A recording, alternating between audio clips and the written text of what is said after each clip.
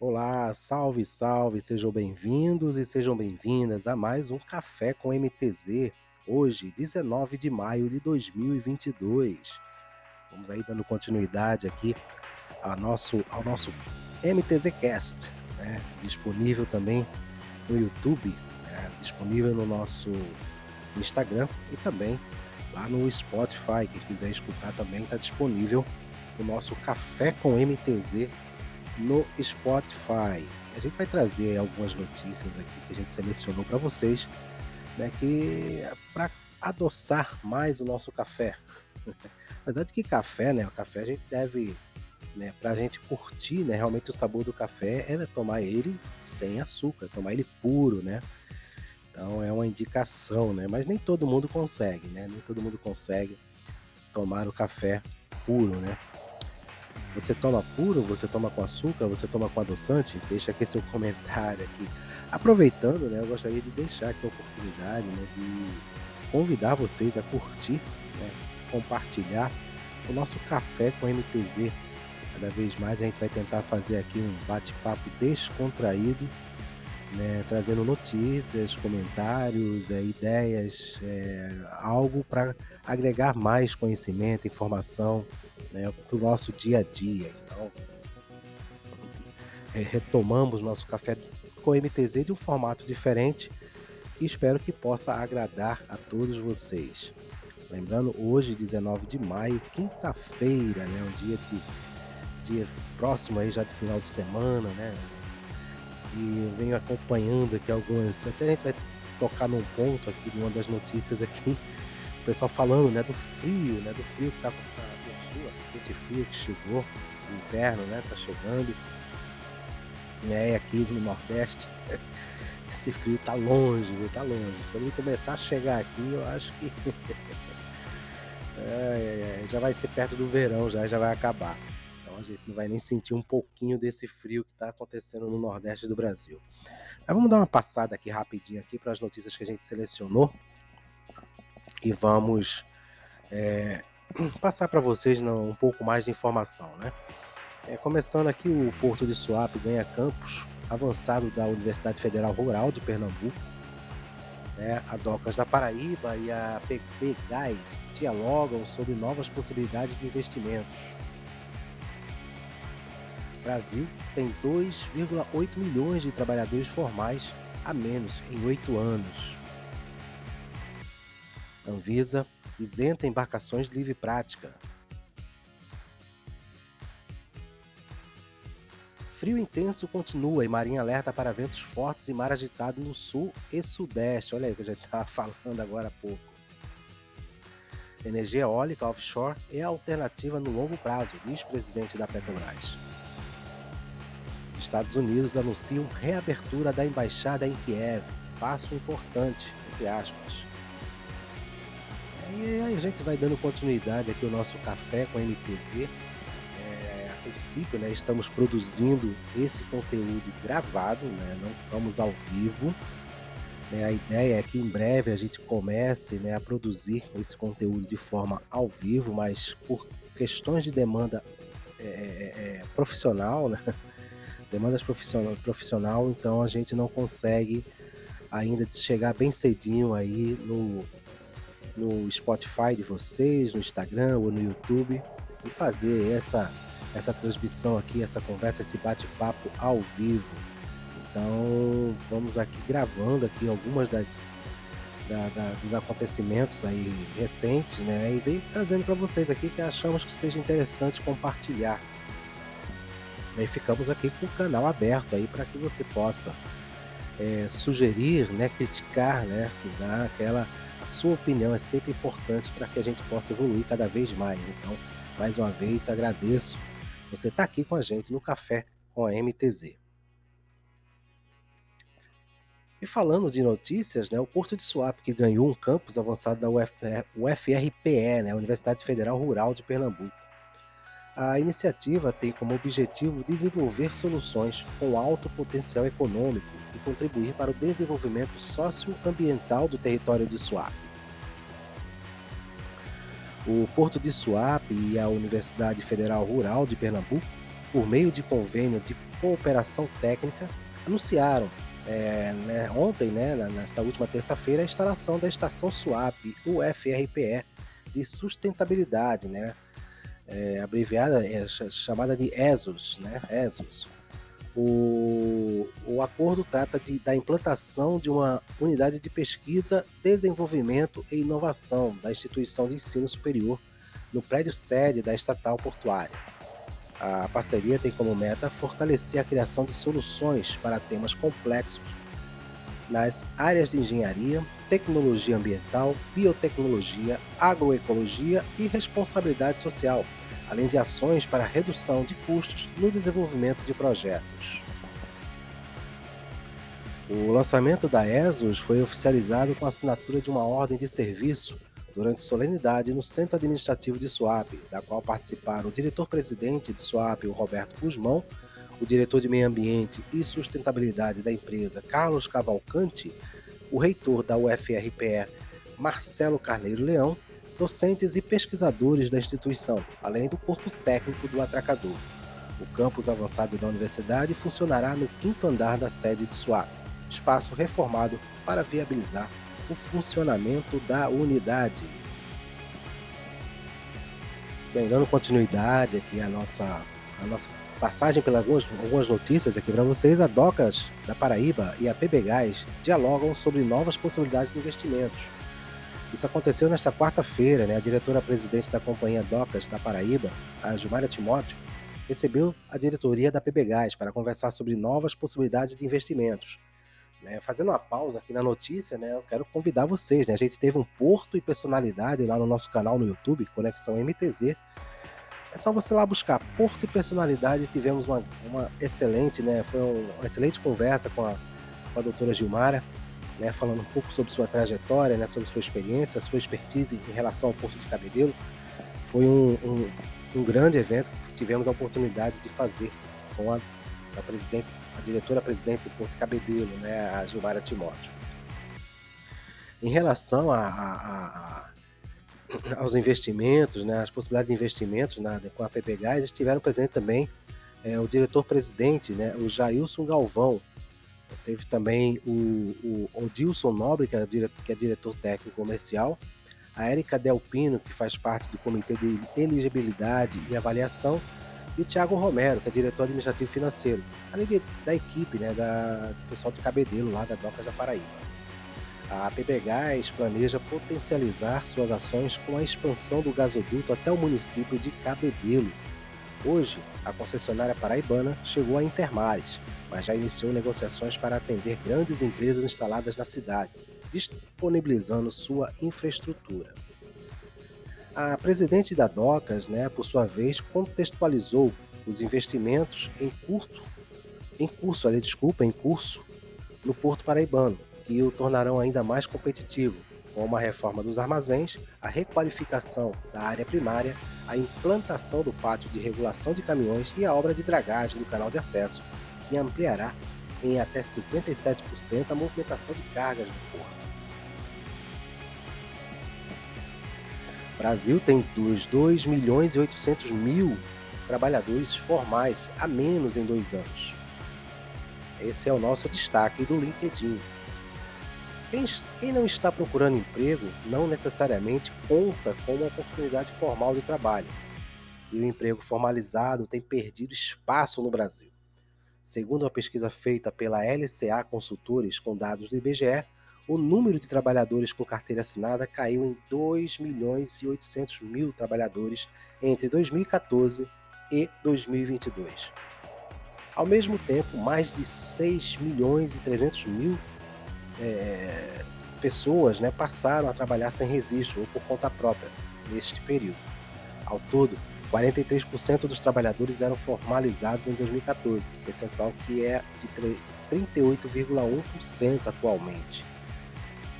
Então, vocês sabem, né, vem acompanhando, né, o que vem acontecendo pelo mundo, né, o que vem acontecendo no Brasil, né, muitos trabalhos de é, com a crise foram surgindo outras oportunidades e você vê pessoas de grande currículo aí fazendo Uber, né, fazendo é, entrega, trabalhando para o Mercado Livre, para a Amazon, É, é complicado, né? Mas estão aí se virando, né? Como todo brasileiro sabe, né? Se virar. Mas vamos em frente. Anvisa isenta embarcações de livre prática. Pessoal que trabalha no agenciamento marítimo aí que está aí direto ligado com, com, os armadores, né? Com, principalmente na questão da cabotagem. A Anvisa oficializou a isenção de certificado de livre prática para embarcações em conformidade com a lei número 14.301, que institui o programa de estímulo ao transporte de cabotagem, conhecido como BR do Mar. A decisão também leva em consideração o controle sanitário. Com isso, as embarcações que operam nas navegações de cabotagem, de apoio portuário e de apoio marítimo e na navegação interior fluvial e lacustre de percurso nacional não precisa mais apresentar o certificado de livre prática na chegada aos portos. No caso dos portos que usam o sistema Porto Sem Papel, deverá ser gerado na chegada o documento único digital, que é a DUV, com a documentação sanitária vigente. Já nos portos que não utilizam esse sistema, será requerido o protocolo de comunicação de chegada para que seja emitida autorização de atracação e operação. Além disso, é necessário que as autoridades portuárias sejam comunicadas. Né? Por falar em BR do Mar, né, eu quero deixar aqui o convite. Aí temos três eventos é, relacionados à BR do Mar é, lá no nosso canal Conexão MTZ. Podem buscar, eu não lembro a data, não lembro a data agora, mas está lá disponível no Conexão MTZ no YouTube, aí três grandes eventos né, na perspectiva, né, na visão do usuário, né, do marítimo, né, e tem um outro que é agora, agora eu esqueci, do portuário, do marítimo, é, do usuário, né, do usuário do marítimo, tem, tem, um, tem um outro agora que, que esqueci, mas está lá, está disponível no nosso canal Conexão MTZ no YouTube.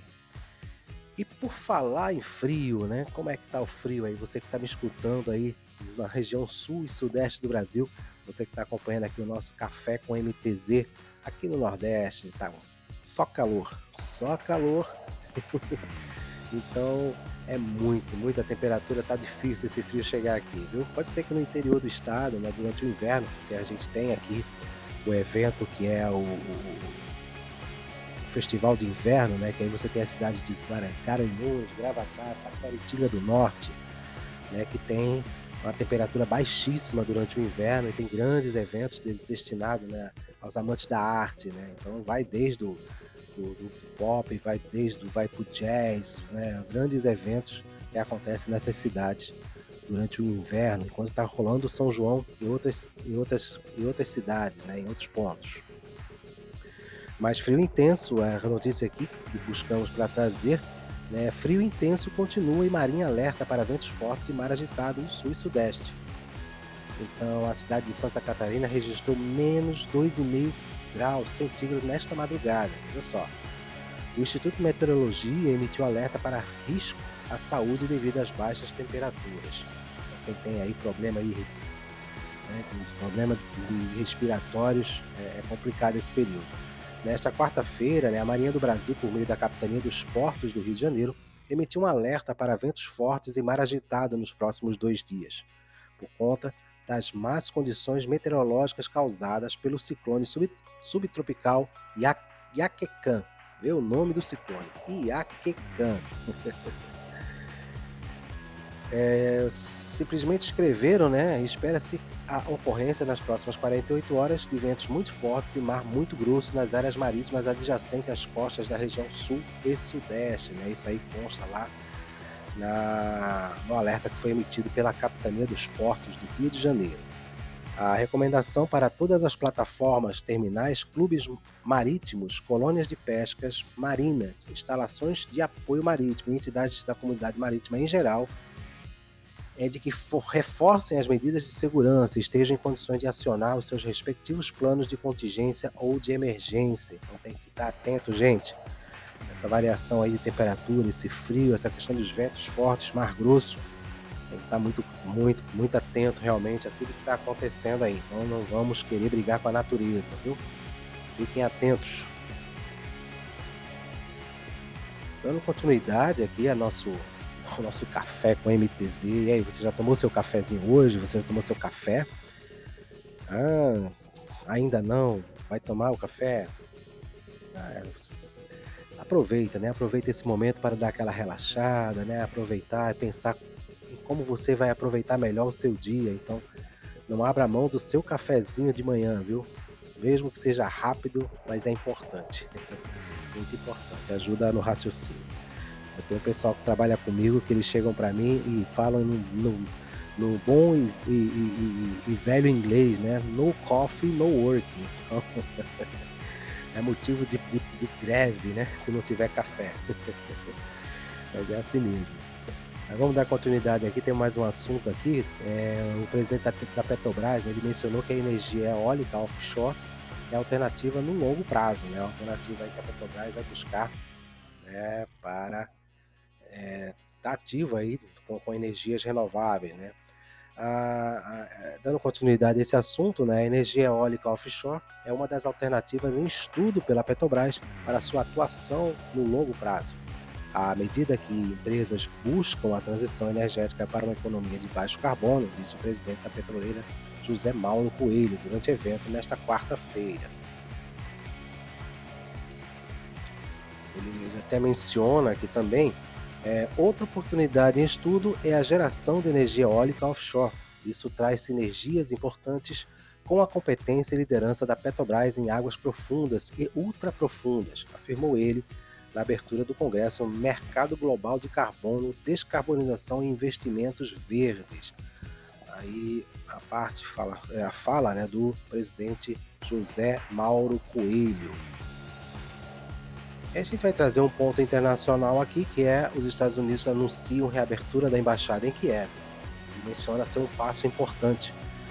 O secretário de, de Estado dos Estados Unidos, né, Anthony Blinken, anunciou a bandeira, anunciou a bandeira sobre a embaixada dos Estados Unidos em Kiev. Voltou a ser anunciou, né, que a bandeira, né, o texto que eu copiei aqui da da, eu acredito que foi da CNN, se eu não me engano, aqui tá. Precisou de uma revisão. Mas aí voltando aqui, o secretário, né, o Anthony Blink, anunciou que a bandeira sobre a embaixada dos Estados Unidos de Kiev voltou a ser hasteada nesta quarta-feira, o que chamou de passo importante. O prédio estava fechado há três meses desde, desde então, antes da invasão russa, né? Já fazem dois meses aí que teve a invasão russa na Ucrânia. E ele fala, ele passa no comunicado, ele diz, abre aspas, hoje estamos retomando oficialmente as operações na Embaixada dos Estados Unidos em Kiev. O povo ucraniano, com nossa assistência de segurança, defendeu sua pátria diante da invasão inescrupulosa da Rússia. E, como resultado, a bandeira dos Estados Unidos está tremulando na embaixada mais uma vez, disse o Blinken. Fecha aspas. Ele também acrescentou né, o comentário falando que ele estava orgulhoso né, e continua a apoiar o governo e o povo da Ucrânia, enquanto defende seu país da brutal guerra do Kremlin. Ele acrescentou aí esse comentário é, referente à embaixada, é, que está fechada lá há três meses, né, bem antes aí de iniciar o conflito entre a Rússia e a Ucrânia.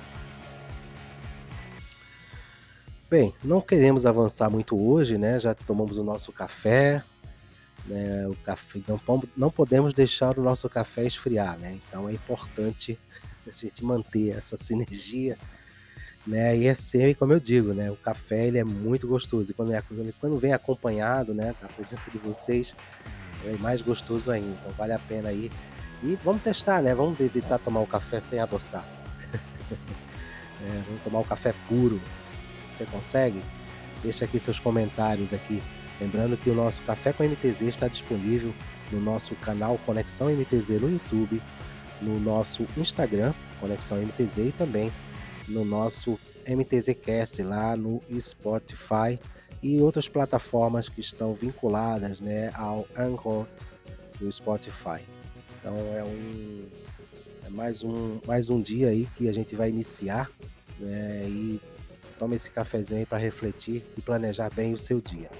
Espero em breve aí a gente tá aí alterando aqui a nossa programação e deixando né, de uma forma mais dinâmica, né, e se possível ao vivo. É, a gente não pode fazer o café da MTZ na hora do almoço, né, não, não, não combina. Né, e o horário que a gente pretende montar e, e manter o café com a MTZ é o horário que a gente está no trânsito, né? Então a gente tem que estar atento ao trânsito. Mas bem, vamos aqui finalizar mais um episódio né, do Café com MTZ, edição de 19 de maio. E é um prazer né, ter tido você aqui com a gente, aqui acompanhando, escutando.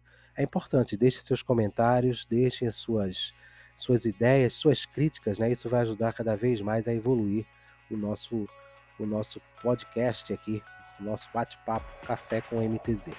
Então, um forte abraço a vocês e até amanhã.